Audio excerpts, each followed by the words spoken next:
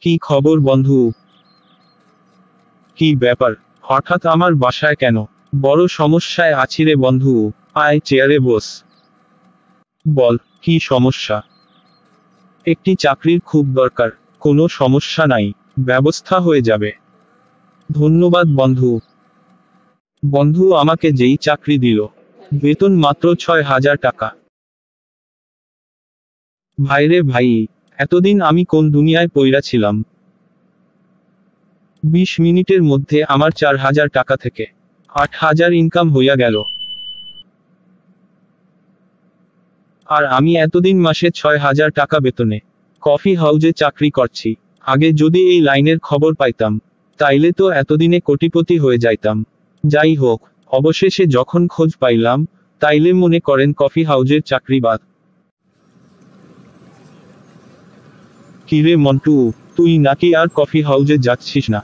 দোকানের মালিক ফোন দিয়ে বলল বন্ধুরে ওই চাকরি আমি আর করব না। কেন? করবি না কেন? রাত দিন কাজ করি। বেতন দেয় মাত্র ছয় হাজার টাকা। ছয় হাজার টাকা তোর কাছে মাত্র হয়ে গেল। কয়েকদিন আগে তো তোর কাছে ছয় টাকাও ছিল না। বন্ধু, দিনকাল সবসময় একই থাকে না।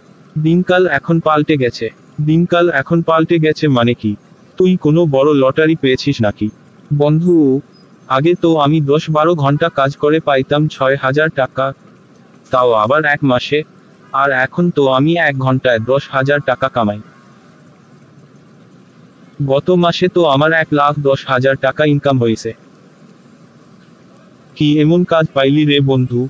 মাসে এক লাখের উপর কামাই করিস। বন্ধু, বুদ্ধি থাকলে সব হয়। আইপিএল এক্সপ্রেস কোম্পানিতে টাকা লাগিয়ে আমি হাজার হাজার টাকা ইনকাম করি। আরে ওইটা তো জুয়ার কোম্পানি রে, তার মানে তুই জুয়া খেলিস। ছি ছি ছি ছি, কেন রে ভাই, জুয়া খেললে কি হবে? জুয়া খেলা তো হারাম, সেটা তুই জানিস না, রাখো তো তোমার হারাম, পেটে নাই ভাত, আর তুমি নিয়ে আসছো হালাল হারামের গল্প।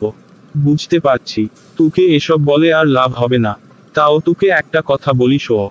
শয়তানের যতগুলো ট্রেপ আছে তার মধ্যে জুয়া খেলা অন্যতম একটা ট্রেপ জুয়া খেললে প্রথম প্রথম কিছু টাকা কামাই হয়। তারপর মানুষের লোভ বেড়ে যায়। জুয়া খেলতে খেলতে মানুষ এক পর্যায়ে এমনভাবে ধসে পড়ে যে তখন তাকে আর খুঁজে পাওয়া যায় না। জুয়া খেলে ক্ষণিকের জন্য সফল হওয়া যায়। আজ পর্যন্ত কেউ সম্পূর্ণ সফল হতে পারে নাই। সবারই ধ্বংস হয়েছে। এখনও সময় আছে। ভালো পথে ফিরে আয়। ধুরো ভাই। সবাই আমার মতন বুদ্ধিমান নাকি? যারা ধ্বংস হয়েছে এরা হইল বোকারাম। আমি ওদের মতো বোকা নই। আমার বুদ্ধি আমার কাছেই আছে। তুই কোনো চিন্তা করিস না। বছর মিয়া আমারে কয়, জুয়া খেললে নাকি ধ্বংস হয়ে যায়? জুয়া খেলে গত মাসে ইনকাম করলাম এক লাখ দশ হাজার টাকা। এই মাসে দেড় লাখ টাকা হয়ে গেল। এই রকম ইনকাম করতে থাকলে তো কয়েকদিন পর কোটিপতি হয়ে যাব। কিরে মন্টু, তোর গেট তো দেখি পুরাই চেঞ্জ ঠিকই বলছোস রে বন্ধু, এই কয়েকদিনে প্রচুর টাকা ইনকাম করে ফেলছি। তুই খালি আমার মতন ইনকাম করবি কিনা বল। বন্ধু হিসেবে তোকে একটা সুযোগ দেওয়া যায়।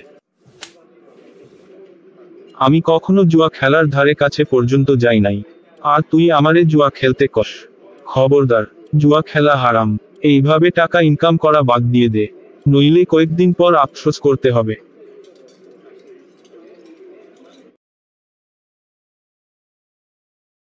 কিরে মুন্টু, এই অসময়ে আমার কাছে কি মনে করে? আমারে একটা চাকরি জোগাড় করে দে না বন্ধু।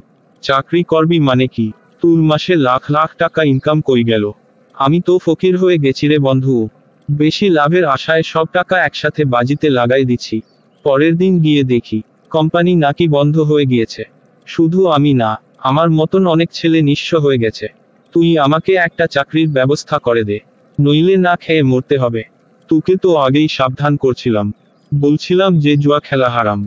তুই শুনলি না আমার কথা। এখন বুঝলি তো, জুয়া খেলা কেন হারাম? হারামের পথে চললে ধ্বংস অনিবার্য। ইসলামে এটি সম্পূর্ণ নিষিদ্ধ। আসসালামু আলাইকুম বন্ধুরা, আপনারা সবাই জুয়া খেলা থেকে বিরত থাকবেন। নতুবা আমার মতো নিঃস্ব হয়ে যাবেন। শুধু জুয়া নয় সকল প্রকার হারাম কাজ থেকে নিজে বিরত থাকবেন এবং অন্যকে বিরত থাকতে আদেশ দিবেন। ধন্যবাদ।